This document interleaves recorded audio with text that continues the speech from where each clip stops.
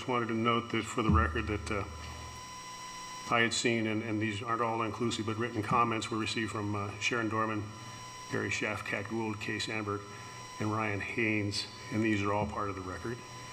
Um, I also wanted to make mention of, of one other letter we, each of us received that is part of the public record, and I have to speak to it.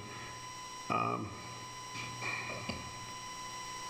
I don't like doing this, but I must.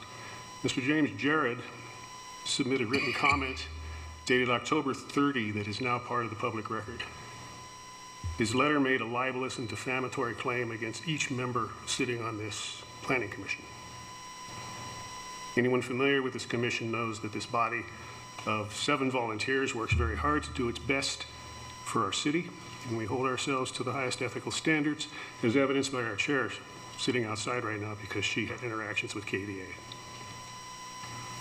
Mr. Jarrard's allegation is not just false, it's despicable. And I wanted this on public record.